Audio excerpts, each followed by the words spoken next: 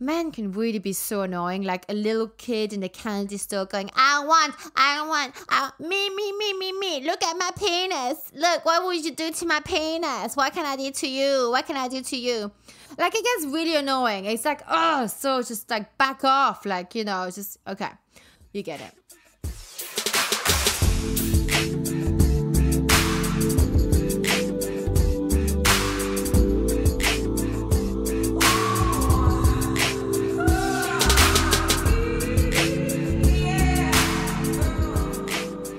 Welcome, welcome, welcome, welcome. We are back on. So, hello everyone. I'm Angie S, the founder of angie-s.com, link in the show notes, where I'm a health coach. If you want to work with me, you can come over to the website and get in touch there on angie-s.com or email me directly at hello at angie-s.com. The links are in the show notes.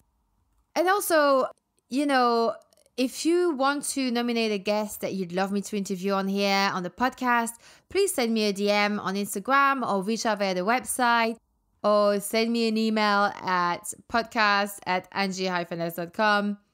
So I just want to say, like, I'm really enjoying this so, so much. And as per usual, the way to support me so that this basically can carry on is to you know rate review subscribe on itunes. You can follow it on spotify. You can leave a comments on the website where i have all the episodes listed as well. If you want to leave a review that way you can as well.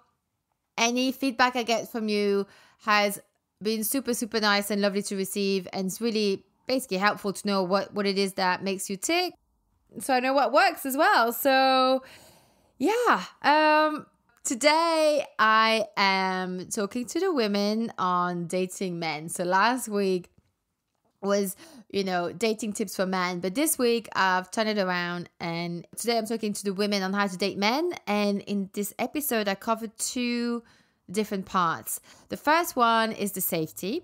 And because some of it gets a little bit serious, the second part is purely on the fun and breezy side of dating and so how to navigate those. So I want to preface this that I believe the more guys you meet, the more you know what you like, the more you know what you don't like, what warms your heart, which is why you don't go exclusive with a guy just because you kissed. It's like saying you've tasted carrots, uh, no need to try courgettes. Okay, you'd be liking in nutrients. Find out what you like. Don't be like me and try out multi dating after 40, okay? Because that's just irresponsible and a bit demoralizing because I learned so much about myself and men now that I don't turn down other offers for dates and just solely keep dating one guy just because we had a couple of good dates. I mean, that's just self sabotaging. You know, I don't do that anymore. And it's actually not good for the guy I'm dating either because, in a weird, unconscious way or subconscious way, I think they can feel that, that you're only dating them. And they, one, feel pressure Two, they feel that no one else wants you. You know, there's no competition, and that's not a prize to them, you know? In a really basic, vulgar way, there is like, you know, courtship. It's about winning the prize. You know, I don't care which way you want to slice it. It is kind of what it is. And you, as a woman, you get to choose which one wins. That's the game. So being uh, pure, being a good girl is not necessarily a prize to them. And it doesn't mean you have to do things that you're not happy to do.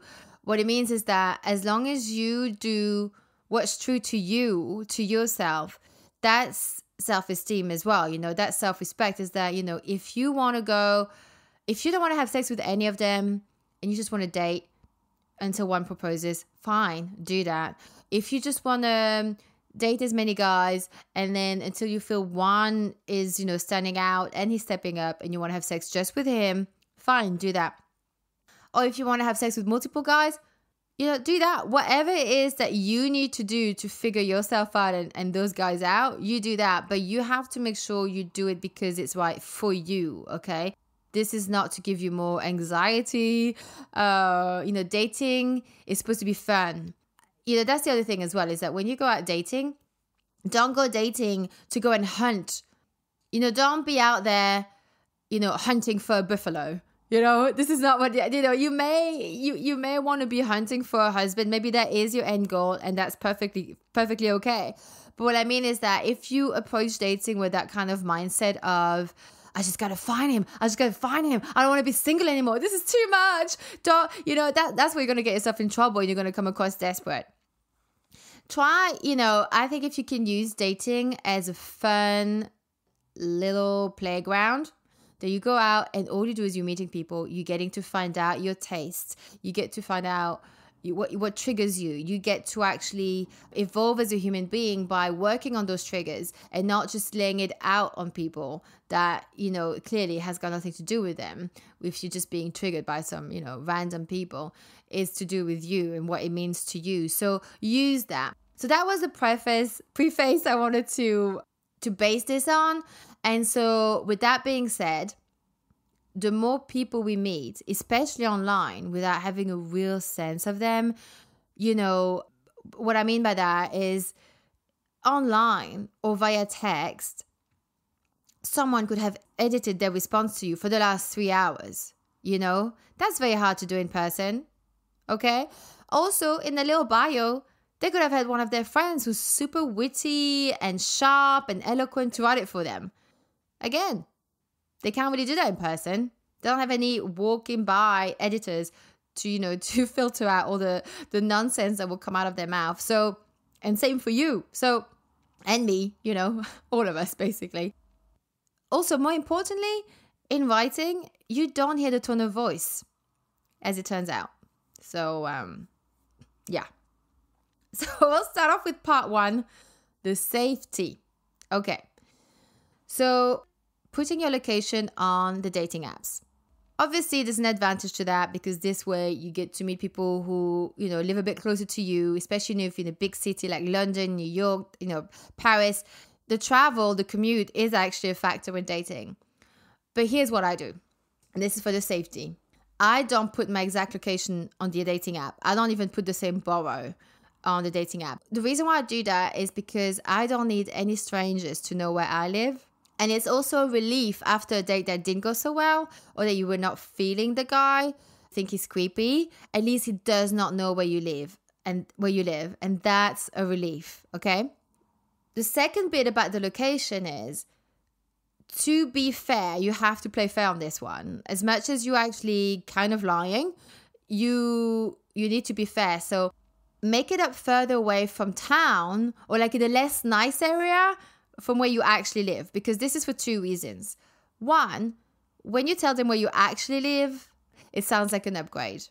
Okay, don't say you live in Chelsea and you live in Finsbury Park. That that's not going to go down well. What I mean is like if you live in Finsbury Park, maybe say you live in Wood Green.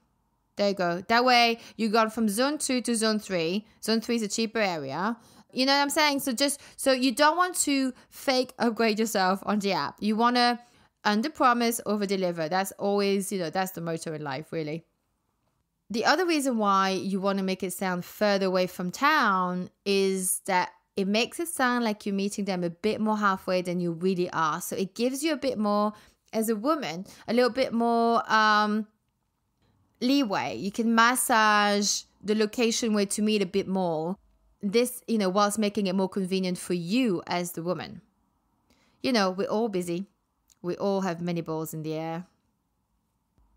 Also, with that, there is something that happens unconsciously when you do too much too soon as the woman. So, you start to have weird expectations on the guys and start to resent it. Don't do that to yourself. Make your life easier. It does not work the same for guys. They need to feel they're pursuing you. You're the prize. And that includes travel where suits you at the beginning. That's how a lot of, of men are. If you want to win at this, don't do all the stupid stuff I did that I wish I'd known at 18. So it's okay to make them come to you more, okay? Okay, so another thing for online dating don't give out your phone number out until after you meet them and want to see them again. So here are, here are three things I'd say about this. I used to always want to have a phone chat first um, before meeting them so I get a better sense of them. But what I found out is that I may not like them in person, and now they have my number. And I hear some you say, well, you can block their number. Yes, but they can call you from different numbers too, several if they have. And that's not hard to have um, to be able to do that, given the next tip I'm about to give you. Okay. So if you do want to actually talk to them on the phone first, which is totally fine, because some women have had bad experience with men harassing them by calling them nonstop like 20 times a day. But if you still want to have a chat on the phone to filter them out a bit more and it makes you feel more at ease, you know, there are alternatives to giving your own real phone number. You can give a, a Google number, but that's more for you. That's, I think that's just for US because I haven't been able to figure this out for UK use yet. You can use other apps like Burner, which actually will give you a, a burner number. this is so Homeland Security. Okay. Uh, not Homeland Security per se, but like, you know, the series Homeland. Okay. You can get cheap secondhand pay as you go phone that you only use for dating. Very pimp move. Uh, and you would make me very, very proud over here. So that's the thing that those are the alternatives to like if you want to have a chat with a guy. Personally, now after having you know tried uh, for a while to have like this pre-chat on the phone before meeting them i actually just prefer now to just say that i don't exchange uh, i don't like to exchange numbers until i meet someone because that naturally sifts through the time wasters on the apps who just want a pe- pen pal or just like sexting all the time. So if you want to filter those out, that's how I do it. And then only then after I've met them, I give them my phone number. So this goes to now the the sec the third part, which is pre-date preparation.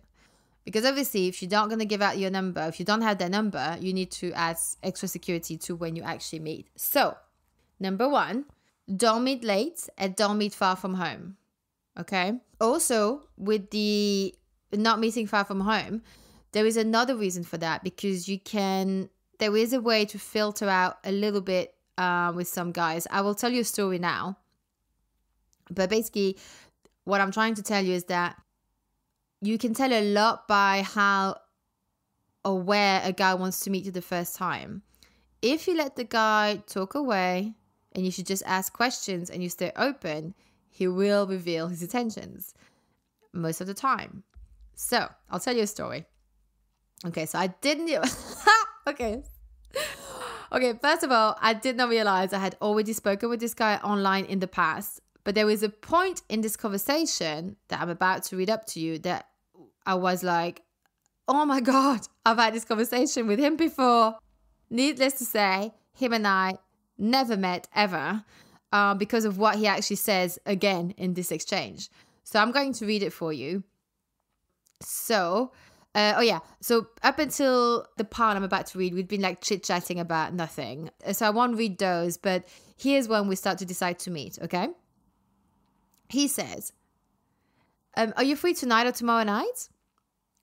So I reply, Oh, I can be tomorrow evening. What do you have in mind? Drinks in Turnham Green, followed by a night. Wait a minute, sorry, because that one just cracks me up. Okay. Drinks in Turnham Green, followed by a night of fun at my place. So I say, It's Turnham Green. you've got them let, you know, you've got to let them uh, reveal themselves a bit more. I, I like to see how stupid they get. Um, so, is Turnham Green where you live? He says, no, I live by Gunnersbury Park, but it's not far. Five minutes drive. Kiss. So I say, I live in dun dun dun. I'm happy to meet more in the middle, around St. Pancras, for example. So he says, depends who home we would go to. So then I say, well, no guarantee we will go home with each other. Never met. I highly doubt so. So he responds, that is lowering the bar a lot. Then I send a laughing emoji. Then he replies, It's a new year. Let's have fun and make the most of the moment we get. You will enjoy it a lot. I never responded. I mean, that is some bullshit if I ever saw any. That, I mean, this guy Okay, so this guy, I mean, his picture anyway is good looking, but no fucking way. In my opinion, that is predatory behavior because he's making me sign a consent form prior meeting him, for one. I don't know him. You know, we've never met. I could be completely put off when we meet. I mean, maybe he's smelly, maybe he's smelly, maybe he's boring, no charm, and so on. I mean, I could go on and on and on. I mean, he really loves himself and is very sure about his lover's skills. Come on now. So of course I never replied, but that's what I mean. If you if he starts to say if I it could have gone a very different way. If it said um actually I don't know if it could have gone a different way because he sort of he gave up his he showed me his car straight away by saying a night of fun at his place, right? So I guess fair enough to him, he was honest. But had he not said that, if he just said let's meet in Turnham Green, and I didn't know where he lived and I didn't understand, you know, what was behind it, then, you know, I, I would have been wasting my time. So there you go. Um, so now the following tips are. So the following tips are from my girlfriend who used to work in war zones and was responsible for security. So she has not shake the habit of security, but I actually love her tips. And I used to use some of them when I was younger, but I think some of them I'm going to start picking up again because they're very good. So here goes. She says, one, send your dates, photo, and telephone number if you have, plus your meeting arrangements to your designated safe person. Two, if you go back to the place, put your phone tracker on. Now, this is very homeland, but I'm actually uh, going to use it now and also text the exact address to your safe person when you arrive. Three, you can also schedule a call with your safe person or send them a text with a safe word to let them know you're okay. So between you and I, I'm assuming a safe word has to be unguessable, right? In case you kidnap. So maybe like meatloaf or banana, something like that. If you don't, and so okay, and so and if you don't, if you don't uh, call, then your safe person calls. That's one. Uh, four, have a danger word for them to summon help or another for calling you back. You know, I know this sounds all really like um extreme, but you know what? This way, no sicko gets away with murder, battery, and assault. You know, uh, you know, like they say, time's up. So so this is one I got from someone else as well. But she said, do a background check on the guys she subscribed to a monthly background check site and checked checks their criminal history if they have one. She also pulls up their address, phone numbers, age, etc. to see if they match with what they told them online. And they look up their Facebook and Instagram profile. So okay, so between you and I, I get it, especially if you've been burned with creeps in the past. But I think that it's borderline privacy invasion here. So I'll tell you what I do. It's very important that, that the person that you speak to is also the person they say they are. Okay. So this is what I do. I always Google them to check if what they told me on the first date or on the phone chat, if you exchange numbers, they actually matches their LinkedIn for their job or other platforms like Facebook or Instagram are really good to check if they're married or engaged. You'd be surprised. Um, and I think also in this day and age where we meet so many different people and we can all disappear and start a new life whenever we want, it is comf- comforting to know their last name by the time you get a second date. I guys, I mean now guys they will know this, but I I I I usually always know their last name by the second date because it's really not hard to find out. Men love talking about themselves just like we do. And I think it's good precaution, you know. Others would say it's weird, but you know what? We have to have our own back out here. This is not the 50s anymore. Uh, we have tools to to protect ourselves, and I think we need to use those. Now, also between you and I, there were some other suggestions that were a lot more extreme, but I think that's definitely maybe a cultural thing as well, and if different countries, different regions, you know. But yeah, so I think obviously all of those maybe adapt them to wherever you are culturally. So now another safety measure for when you're on the date. One, meet in a public place not too late.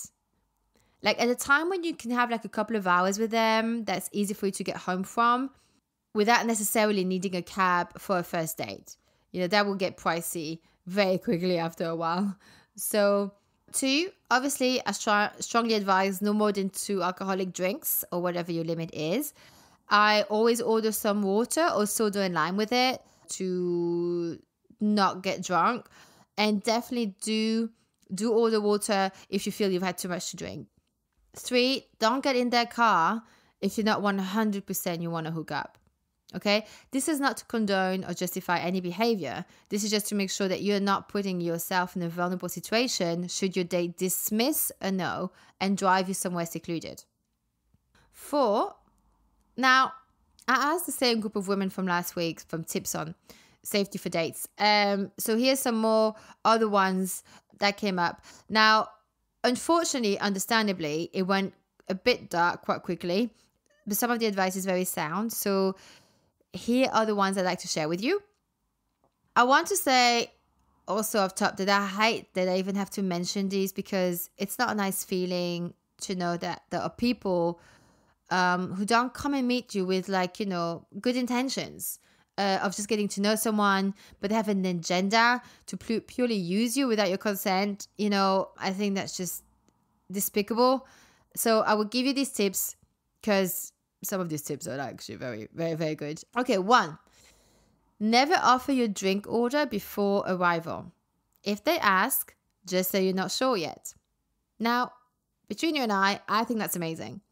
It's not something I always thought about because I offer it to guys too. You know, if I'm early and they're running late, I'll ask what they want to drink so they have it ready when they arrive in my mind, it's just a nice thing to do. But then again, it only takes that one creep. So, yeah, going forward, I'll say, I'm not sure yet, but thank you. Two, never finish a drink after coming back from the ladies' room. Always request a fresh one. In between you and I, that's very wise.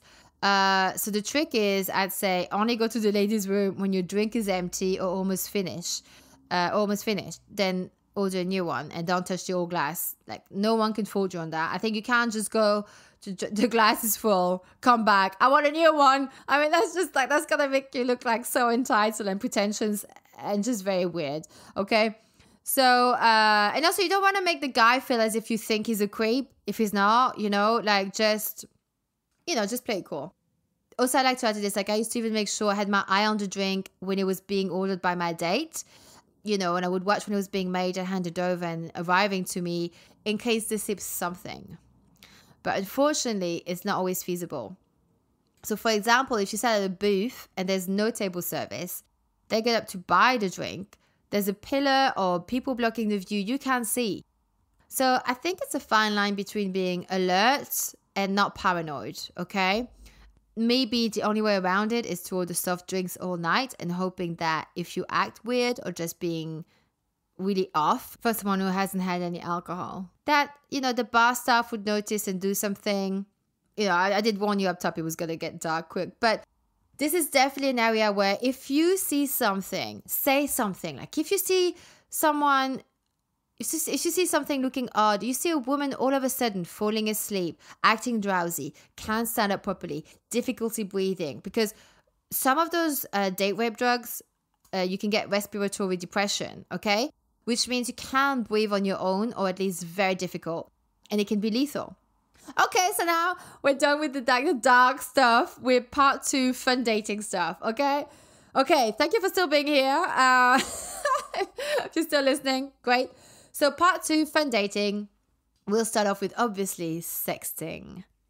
Now, how do you deal with this if like you know, sometimes you're just not up for it, okay? If you're up for it, great, play, go along, have fun, do you, okay? But now, when you're not in that kind of space or ready yet with the guy, men can really be so annoying. Like a little kid in the candy store going, I want, I want, I, me, me, me, me, me. Look at my penis. Look, what would you do to my penis? What can I do to you? What can I do to you? Like it gets really annoying. It's like, oh, so just like back off. Like, you know, just, okay, you get it. So if you're not comfortable yet and they're doing this shit and they're coming, you know, someone's coming on a bit strong, these are the things that you can do, okay? One, just ignore their messages?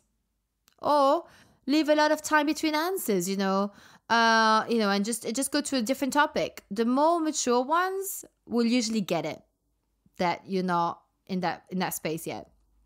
Another technique, you know, again, you know, just be mysterious. Don't say too much.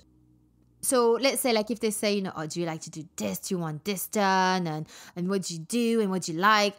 You can just say I make them sound very creepy. Anyway, if you want to play with them and if you're attracted to them, but you don't want to have it everything in writing, you can say something like, Who knows? If you're lucky, you may find out in the future. You know, just something vague like this, and you know, just be very vague. Um, or you can also do like a wink emoji, or you can send an emoji with the smile and the three hearts around the face. You know the one. And you know, by doing all of these things, like if you stay true to yourself, the time wasters will filter themselves out. Okay, that way you get to stay aligned with people, you know, who's looking for the same thing or have the same kind of approach. Now, if the guy ignores the signs that you're not there yet with him, um, like you know, the signs being like change of conversation, uh, no response to that bit, uh, asking him to slow down, then that's a red flag. And if it does, if he doesn't like you asking you to slow down, and he stops texting you after a couple of days of like random texting, then he's done you a favor. He's out of the picture. Next. So I obviously I like to like round this sexting part up with, you know, obviously there's nothing wrong with him wanting sex with you. It'd be weird if he didn't want to have sex with you if he wasn't attracted. But there's a way of reading the room. You know what I'm saying? Like it's more the disregard that he's not respecting your limit and that that's what's off-putting. You know, if it'll be this, I tell you what, this is the equivalent. If you're telling him to take you to a five-star restaurant and introduce you to his mom, he's not a bad guy if he's not there yet. Okay. And to be honest, neither should you be. Um, so it goes both ways, okay? You're not automatically asexual just because you don't want to like sex back and forth with some like new guy. But guys, just so you know, when you keep on sexting like strongly without us ever prompting you or giving you any kind of information that we want to carry on sexting, all we see, or anyway, all I see is a furiously masturbating man in his teenage bedroom going, gimme, gimme, gimme, gimme, gimme. Like, not sexy at all, okay? The next bit the unwanted goodnight kiss, how to avoid it. So, this is a trick I do. If you're not sure if he's gonna like bang, smack it on your lips, and and you're definitely not feeling it, you don't want to see him again. When he goes in for that goodbye kiss, Gently put your hand on his chest and make sure you turn that cheek so he doesn't lick your lips, ladies. And now, the good thing is you can unmatch him on the app and he doesn't even have your number. See how that's all making sense now? Do you feel the relief? So definitely put that like hands on his chest. It's almost it's like, but not aggressively. Don't like push him away. That's just weird. But just put it just gently, like as if you know it's like a way how you just you know how you say goodbye to people. Just like just just softly put your hand on his chest, not sexily, because then he'll definitely go and lick your lips. Just just put your hand there and definitely turn your head real good and the winter is great for that because in the winter you have maybe you have like your hat on your hoodie you, you know maybe with a bit of luck you'll be like just kissing your your the, the hood from your coat you know? Now the next part is sex. If you if you're not ready to have sex with a guy that's easy. You just won't go home with a guy. Simple okay? But if you really want to have sex with him, but in your mind, you've already had a conversation with yourself that you will not have sex with him. Not tonight. Okay? Here's what you can do. One, leave the house in a mess, like embarrassingly dirty and messy. Two, shave nothing. Nothing. Wear ugly knickers. Now, those won't stop the guy, okay? And to be fair, the older we get, the less it will stop us too, because we're like, ah, oh, fuck it. If you haven't seen hair and old knickers by now, I don't even know what you're doing in my bed. And I don't need to be cleaning for your arrival. Yeah, but it increases the chances of slowing it down a bit. And okay, maybe this point was a bit mute, but it definitely worked in my 20s and 30s. So have at it, ladies in your 20s and 30s. Use those tips. And if you want to avoid going home to his, make sure you have something scheduled early in the morning so you don't have to, like, you know, get like a, a late cab or really early cab and that kind of stuff to, you know, and spend more money on on, on some new guy. That's just crazy. Okay. I mean, it's not crazy, but you know, why do that to ourselves? Okay, so final one temperature checking from guys. Okay, so if you haven't heard from a guy you dated a while back, or from an ex you used to date, and all of a sudden you get these texts, you know, we, you know, I think we call them temperature checking. So if all it says, and you haven't spoken with them in a while, or that you've just broken up, you know, they they miss you after like a few days or a week or two, and all they say to you is, "How are you?" Don't respond. Don't respond.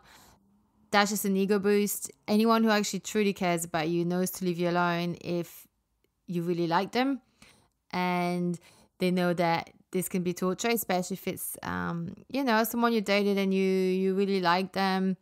I've been guilty of being on both ends of that. So I've been guilty on sending a little text that was harmless to me but actually had an impact to someone else, and I've also been on the other end where someone I really liked they ended it with me and then they just do some little temperature uh, checking text and like an idiot I would reply.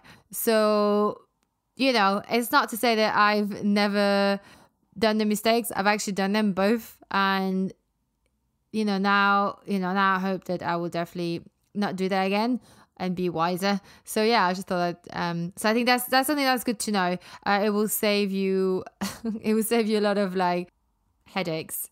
So yeah, so that's our episode. I hope you enjoyed it.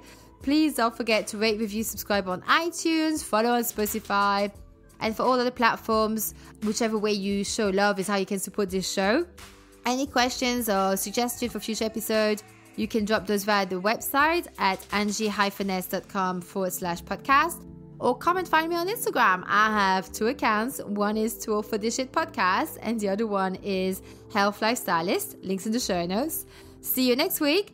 And oh, next week, yeah, I have an interesting guest. Uh, see you next week. And until then, using health inappropriately.